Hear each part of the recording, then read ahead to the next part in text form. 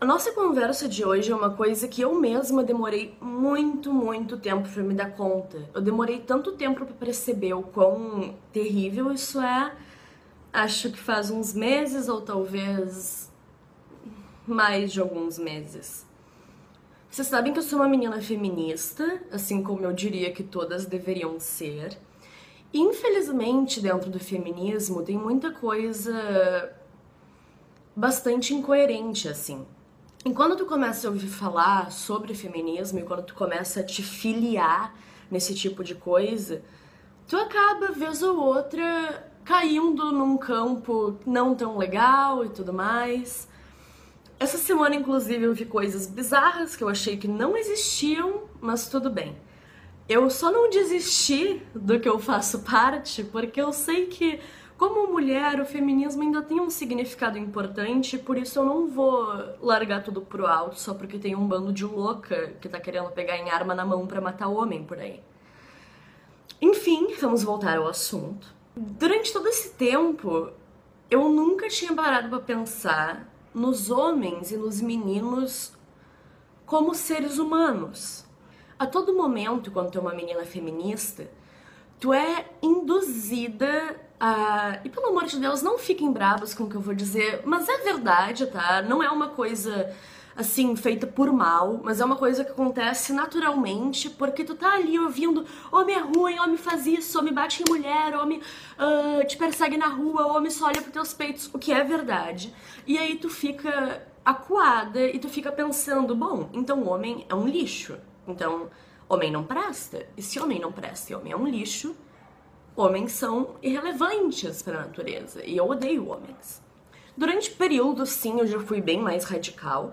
Quando tu uh, começa a ouvir esse tipo de coisa, começa a ver esse tipo de coisa, dificilmente tu lembra do homem como um ser humano. E tu pode estar achando exagero, mas agora eu vou te explicar e eu acho que tu vai entender do que eu tô falando. Eu nunca tinha me dado conta do quão os meninos, quando nascem, quando são bebês, sofrem tanto quanto as meninas. Só que ninguém deixa isso claro. Eu tava conversando com um amigo uma vez e a gente tava falando sobre hum, criança, bebê, etc., como era a nossa infância. E eu falava, tipo ah, mas a menina tem muito mais cobranças e a menina não pode fazer isso, isso e aquilo, porque senão vão olhar feio, e a menina desde pequena é apontada, e a menina desde pequena tem que seguir padrões de beleza e padrões estéticos. E ele olhou para mim e falou assim: "Tá, e tu acha que o menino não sofre nada parecido?" Eu fiquei claro que não. Eu completamente cega, eu disse: "Claro que o menino não sofre nada disso." E aí ele me disse que quando pequeno ele tinha uma pressão enorme do tipo: para de chorar, menino não chora assim, tu tá chorando que nem mulher. Ou tu, ou quando ele ia expor os sentimentos dele, tu não pode falar esse tipo de coisa, vão achar que tu é uma bicha. E isso acontece, e muito.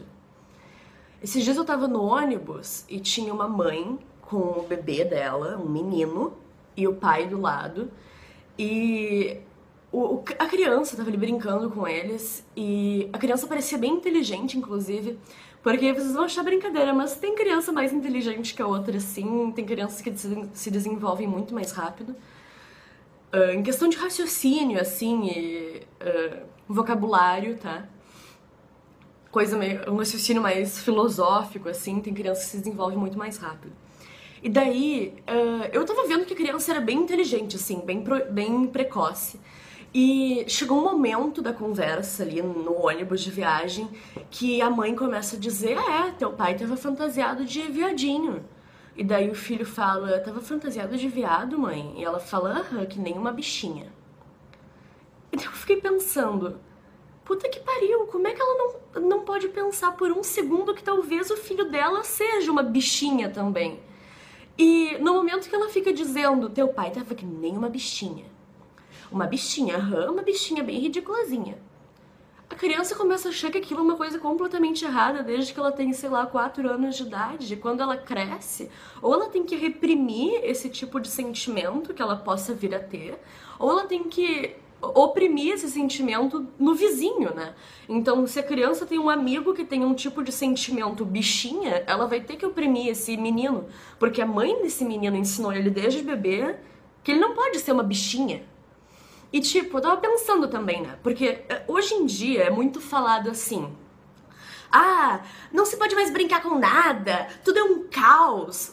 Pera lá, tu pode olhar pro teu filho e dizer assim: ai, tem o viadinho da mãe, ai, tem a bichinha da mãe, ai, que viadinho gostoso da mãe. Não tem nenhum problema tu fazer isso, porque não é pejorativo, é normal. E teu filho não vai nascer, ele não vai crescer gay porque tu chamou ele de viadinho. Assim como o teu marido também não era gay porque tu chamou ele de bichinha. Quando tu aponta que, o, que aquele homem super forte viril ah, teu pai já foi uma bichinha uma vez numa festa, como se aquilo fosse uma fantasia, ser uma bichinha é uma fantasia momentânea. Aquilo causa um impacto enorme numa criança. E de fato, mamães, vocês não podem de jeito nenhum.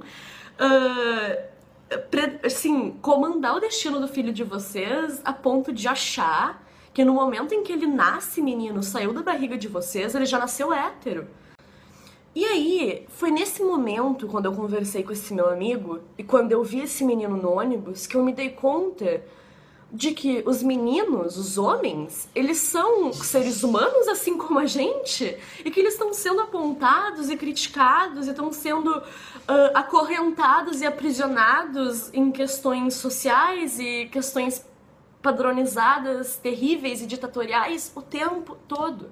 O tempo, o tempo todo. E assim, a gente vê muito, muito, muito menino revoltado com a mãe.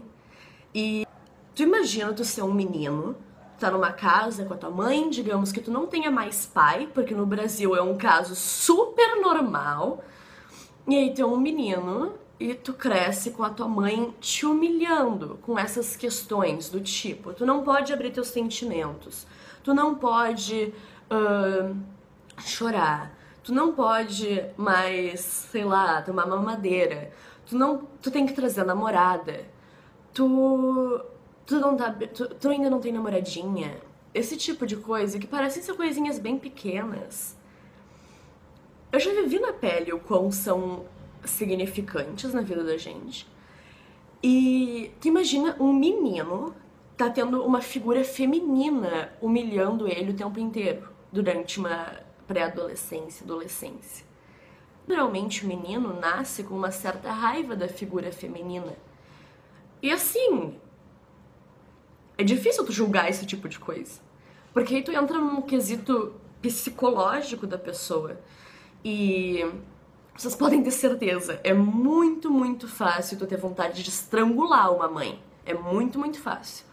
Porque eu não sei como é que é na casa de vocês, mas eu já passei por coisas bem complicadas. Agora, graças a Deus, eu e minha mãe, a gente, assim, as duas conseguiram amadurecer e a gente tá super bem, mas eu já passei por períodos, assim, sufocantes, extremamente sufocantes.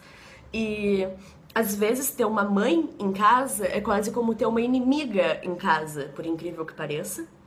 E se para uma menina, para uma menina que é do mesmo sexo que uma mãe, já é muito complicado. Imagina para um menino ter que lidar com isso. E a gente sabe que é muito fácil em qualquer uh, em qualquer meio assim de se, se desenvolver problemas emocionais e problemas mentais. É muito, muito fácil. E aí a gente cresce, a gente se depara com um bando de homem meio problemático assim com homens problemáticos no sentido de terem mágoas muito grandes com o sexo feminino e homens muito uh, magoados com o sexo feminino e homens muito amedrontados com o sexo feminino também. Porque tortura psicológica dentro de casa é uma coisa que pode. a maioria pode achar que não existe, mas acontece bastante, é extremamente pesado. Isso pode destruir uma pessoa. Então, e o Brasil é um outro é um país também que não tem muita cultura de tratamento, né? Vocês já repararam? Eu falei aqui em tratamento psicológico, psiquiátrico, psicológico, e as pessoas estavam me chamando de louca, dizendo que eu tinha esquizofrenia, que eu tinha sei lá o quê. Porque aqui no Brasil, se tu falar que tu tá fazendo uma terapia no teu trabalho, na tua escola, é capaz de te olharem com cara feia e acharem que tu é uma pessoa perigosa. Isso é muito triste, porque a gente tem um bando de pessoas de fato perigosas nas ruas, porque elas estão com muita coisa trancada dentro delas e elas não têm com quem conversar. E aí eu escuto várias e várias vezes, mais uma vez, das mães por aí, das mães que estão por aí afora no mundo, né, no Brasil, elas dizerem uma coisa que eu acho que é o maior atraso que a gente poderia dizer para um filho na nossa vida. Então, por favor, eu não sou mãe ainda, tá? Mas eu te digo, não fala mais isso pro teu filho, porque isso, isso é muito, muito triste. Um, esses dias eu tava com um amigo e aí ele falava pra mãe dele que ele queria fazer tratamento psicológico. Ele falava, tipo, eu quero consultar com um psiquiatra porque eu não consigo conversar com ninguém sobre as coisas que estão me incomodando e eu não tô mais gostando do meu colégio, eu tô me sentindo muito mal. E daí, ela nem se envergonhou de estar na minha frente, na mesa da janta, e ela falou assim: Pra que que tu quer isso? Se eu tô aqui para te ajudar. Por que que tu quer tratamento se tu pode lavar uma louça? Por que que tu quer gastar dinheiro com tratamento se tu pode viajar, se tu pode fazer um curso? Gente, uma pessoa que tá com sentimentos trancados, que tá passando por uma dificuldade, não existe viagem na Disney que cure, não existe louça que cure, não existe palmada de chinelo que cure, e não existe conversa com mãe que cure. Assim, família uh, não necessariamente é a tua melhor amiga. E isso a gente vê o tempo inteiro por aí. Família sabotando família, família não entendendo família. E não é uma coisa do tipo, ah, família é uma merda. Não, isso aqui é assim, a gente tem profissionais justamente porque se mãe fosse boa conselheira, se mãe fosse a ajuda que a gente precisa o tempo inteiro, assim, a gente não ia mais estar tá formando psiquiatra, formando médico, formando psicólogo, porque a gente ia ter milhares de mães curandeiras. Então, é, é muito, muito, muito triste mesmo vocês quererem trancar os filhos de vocês em casa dizendo: não, não vai procurar tratamento, porque isso aí é coisa de louco. Vai fazer uma viagem. Pra que gastar 350 reais no médico? Vai, vai pra Canadá. Teu filho não vai estar tá feliz no Canadá se ele não conseguir conversar com alguém antes. E não é o Canadá, nem o, a comida do Canadá, nem os coreanos do Canadá, nem os velhos do Canadá, nem o Niagara Falls que vai ajudar o teu filho lá. E eu tive muita dificuldade para entender isso, eu demorei muito tempo para entender que eu realmente precisava de um tratamento. E assim, tratamento não é coisa de louco, a gente tem que incentivar isso cada vez mais, porque olha, sinceramente, a maioria das pessoas que são loucas que eu conheço se recusam a se tratar a gente repara a diferença extrema de culturas. Por exemplo, quando tu vai numa vila, eu já fui em vilas, tá? Então eu estou falando algo coerente antes que tu diga, Patricinha nunca foi em vila. Eu já fui em vila sim, em mais de 3, 4, 5 ou 6, por sinal. Tá? Quando tu vai numa vila, tu vê uma realidade masculina completamente diferente de uma realidade masculina de um guri, por exemplo, classe média. A classe alta eu não posso falar, porque sinceramente eu conheço pouquíssimos meninos da classe mais elitizada, eu conheço pouquíssimos mesmo. Vamos falar dos meninos que estavam no meu colégio, que eu vou considerar como classe média, alta. Bom, lá na vila e lá nessas classes mais baixas, quando a gente fala principalmente dos meninos do funk, isso não é um, não é uma, um preconceito, tá? Porque tem os meninos mais do funk mesmo, tipo os meninos que estão de boné de abarreta e corrente e tudo mais. Esses meninos têm uma estranheza muito grande com sexualidade diferente da padrão. Muito, muito, muito, muito. Eles têm muita, muita estranheza mesmo. Quando já aconteceu de eu ir em alguma vila com uma amiga minha tanto para projeto social como para né, um, diversões. Uh, várias vezes eles perguntavam pra gente, num tom de riso, se a gente era namorada, tá? Em algumas vezes a gente disse sim, a gente é namorada. E não era nenhuma coisa maliciosa dos guris, tá? Eles não estavam ali para tirar a gente pra lésbica gostosa. Eles estavam realmente meio apavorados, assim. Eles pareciam uns guri da, terça, da quarta, quinta série, pulando assim, que nem uns macacos, rindo. Tipo, vocês se beijam. e eles eram uns homens grandes já, assim, com arma na mão, droga na mão.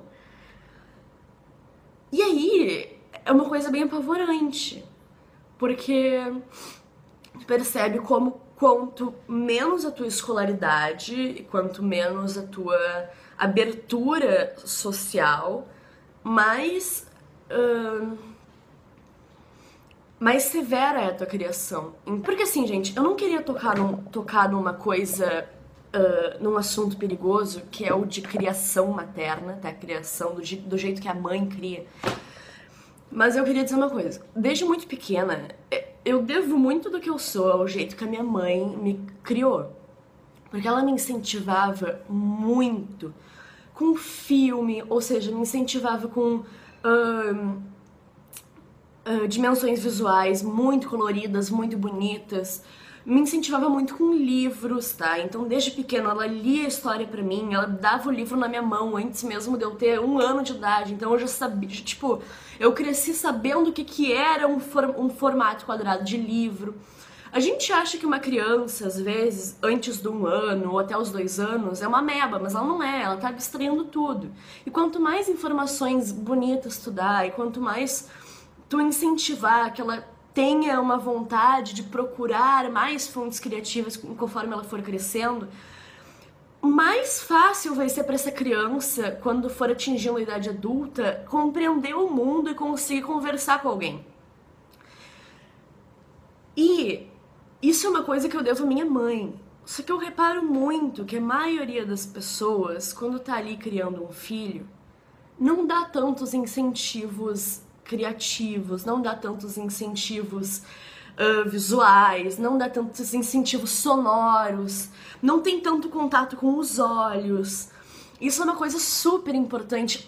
O olhar, o olhar da mãe e o bebê na hora da amamentação é uma coisa fundamental. Inclusive, tem estudos que, assim, não é uma coisa certa, tá? Mas tem estudos que indicam a hipótese de que uma mãe que não amamenta o filho olhando nos olhos, tipo uma mãe que amamenta o filho meio que desleixadamente, sem dar aquele carinho, aquele amor, sem ter aquele vínculo, há chances do bebê desenvolver autismo. Então, para vocês verem a gravidade da coisa, o contato com a mãe é muito importante. E aí tu pensa, tá? Tu tá numa vila Tu tem que trabalhar o dia inteiro para conseguir para conseguir comida, para conseguir pagar as contas, para conseguir uh, sustentar o teu filho que recém nasceu também. Como é que tu vai parar para ficar dando incentivo de livro? Como é que tu vai parar para ficar dando incentivo de filme? Como é que tu vai parar para ficar tocando Mozart para ele dormir? Como é que tu vai parar para ficar horas olhando para ele enquanto tu amamenta? É óbvio, tá, que a maioria das mulheres guerreiras aí que estão nas, part... nas classes mais pobres são mães excelentes, são excelentes mães. Não é culpa das mães 100%, 100 também os filhos nascerem meio erradinhos, mas elas influenciam grande parte disso. Bom, tu imagina uma criança que nasce na classe média. Ela tem um incentivo musical, às vezes. Ela tem um incentivo sonoro, às vezes. Ela tem um incentivo uh, visual com a mãe, às vezes, porque não é o dinheiro que torna a tua mãe melhor. Isso é uma coisa, infelizmente, terrível. Mas enfim, essa criança, ela praticamente cresce com o mundo feito para ela. Ela tem a faca e o queijo na mão.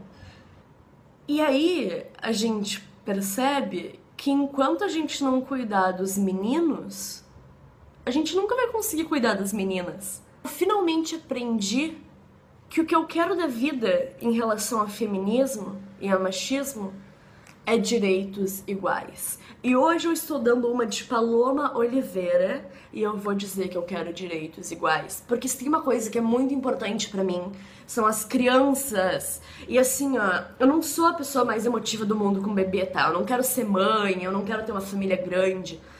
Mas eu sou muito, muito Ai, eu tenho vontade de chorar, gente, sério, porque eu sou muito assim.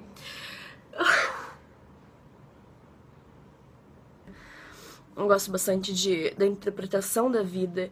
E não tem como tu interpretar a vida sem interpretar os nossos bebês. E eu juro que uma coisa que eu adoraria um dia fazer é prestar algum tipo de serviço como pedagoga ou como, não sei, um, estilo SOS babá. Porque eu presto muita atenção nesse tipo de programa, eu tô sempre analisando como os pais estão criando os filhos e como eles estão fazendo. Ah, quando um bebê nasce, é como se. Nossa, uma dimensão paralela nova tivesse nascendo no universo, entendeu? É como se uma nova estrela cadente tivesse nascendo. A dimensão de um nascimento de uma criança é tão grande que ela não pode ser tirada ao, ao, ao léu, assim. Tu tem que dar atenção, tu tem que pensar naquilo como ouro. Até porque a gente não pediu para nascer na maioria das vezes. Tem muita criança que sabe que não queria estar aqui.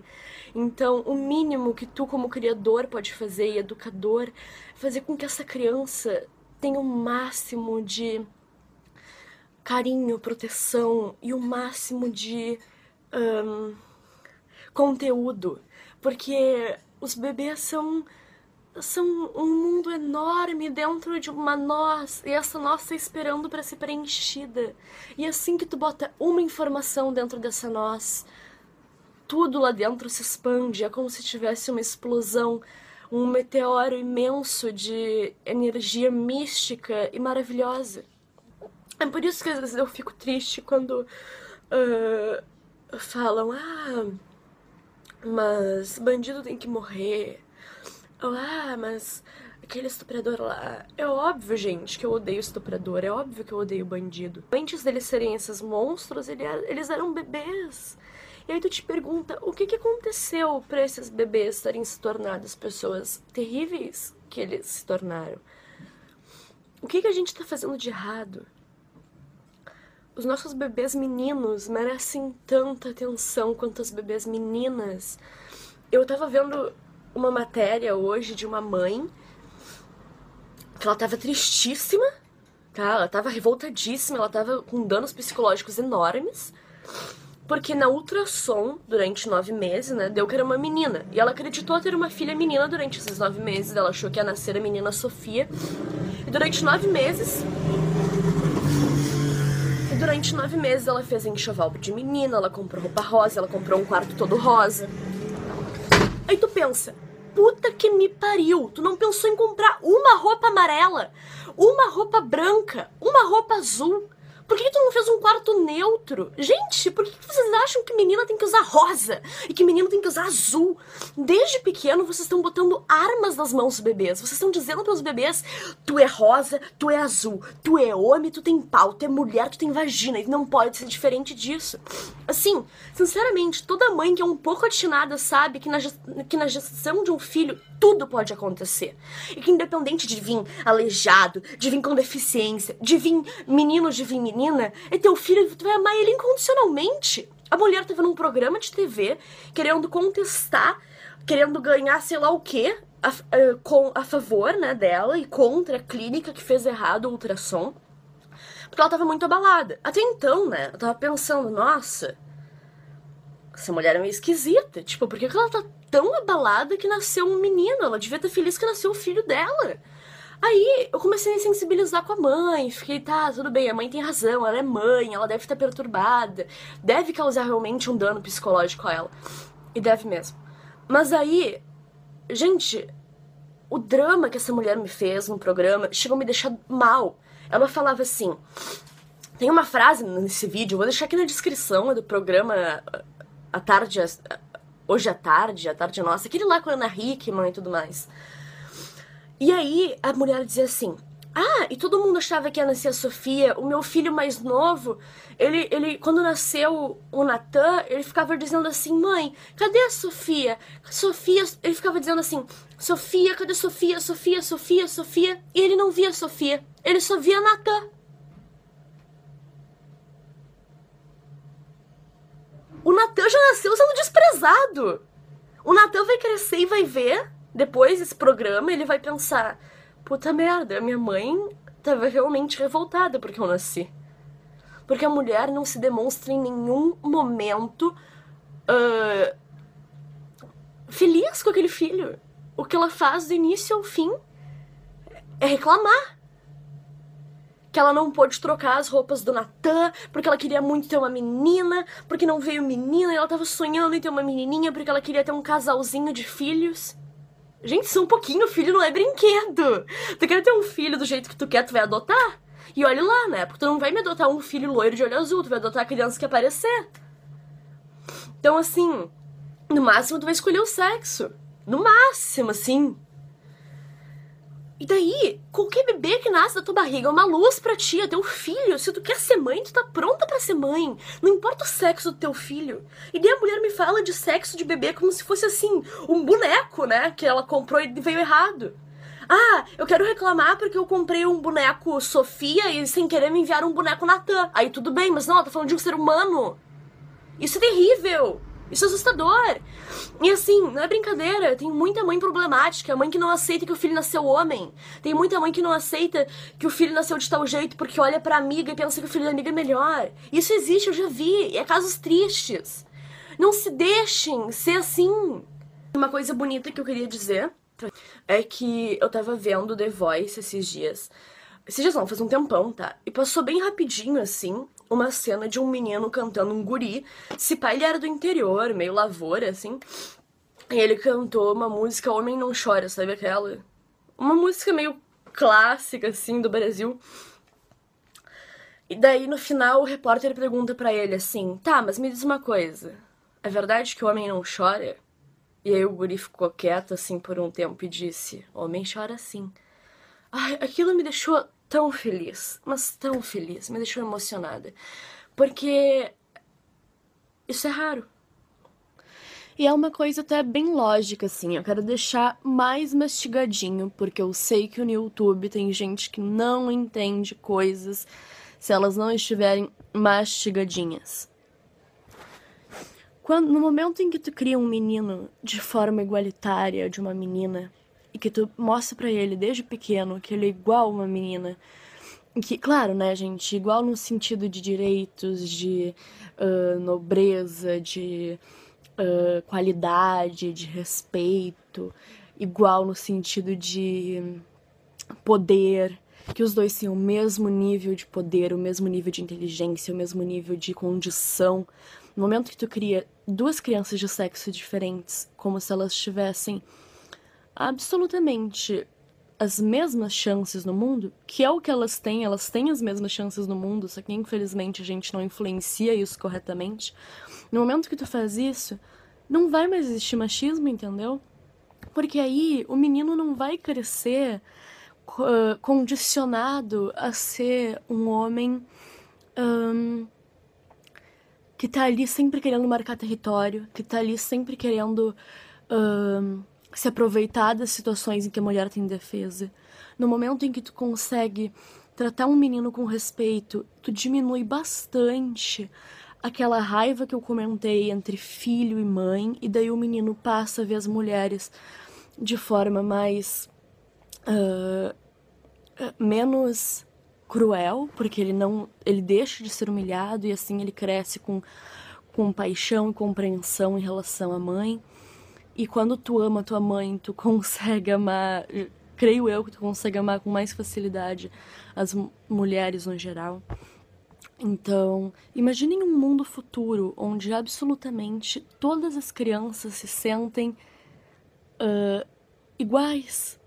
Onde todas as crianças só vão pensar em sexo quando elas já estão bem mais desenvolvidas. Em sexo eu digo feminino, masculino. E aí elas só vão pensar nisso quando elas estão bem mais desenvolvidas e elas querem realmente saber se elas gostam de ficar com meninos ou de ficar com meninas. E tendo uma, uma vida assim, nunca mais vai existir estupro, nunca mais vai existir abuso, porque o menino vai se sensibilizar a ponto de saber que uma menina sente no corpo a mesma coisa que ele sente no corpo. E aí uma menina também vai saber que um menino sente a mesma coisa que ela sente no corpo. Porque assim, a gente tá fabricando meninos extremamente cruéis e a gente tá fabricando meninos que são armas letais contra as mulheres. A gente tá fabricando meninos que têm o pênis como uma arma. Isso é muito cruel para a raça masculina e para a raça feminina. E isso poderia estar sendo facilmente acabado. Então, o que eu quero dizer é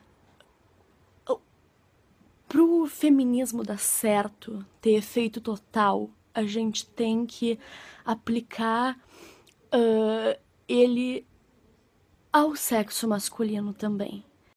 No momento em que houver igualdade real, igualdade nata, nata significa uh, de dentro, tá?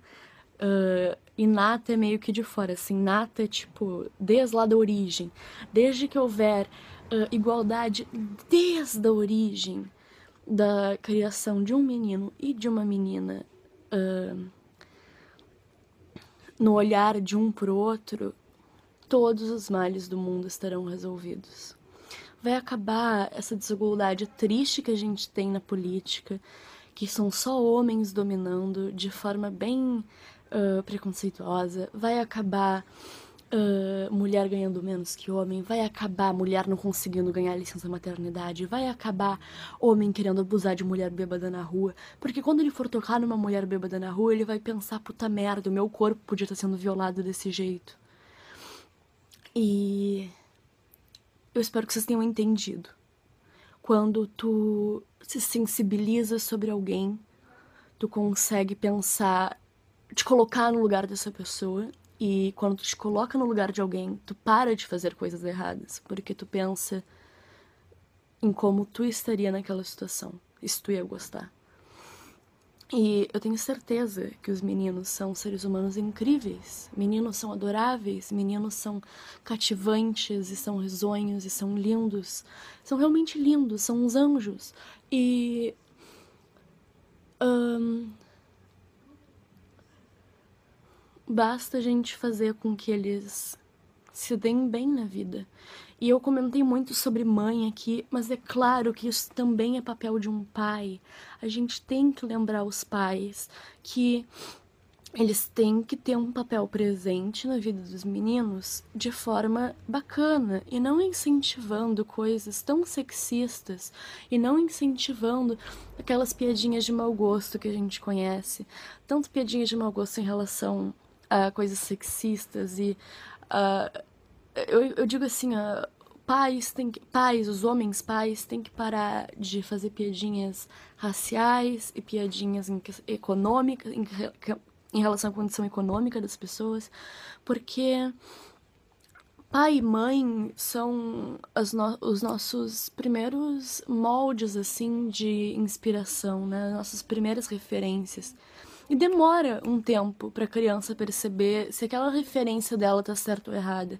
Então, por favor, se esforcem. Pai, se esforça para ser uma pessoa legal. Se tu é um carrasco nojento, pelo menos tenta não ser. E mãe, se tu também é uma carrasca nojenta, tenta não ser. Mãe, se tu vê teu marido falando merda pro teu filho, manda ele parar. Porque eu vejo muita mãe não ficando quieta. O homem fala um bando de asneira, a mulher fica quieta. Não fica quieta. Manda ele parar. E pai é a mesma coisa. Se a tua mulher tá dizendo coisas absurdas pra tua criança, manda ela parar. Eduquem os filhos de vocês de forma.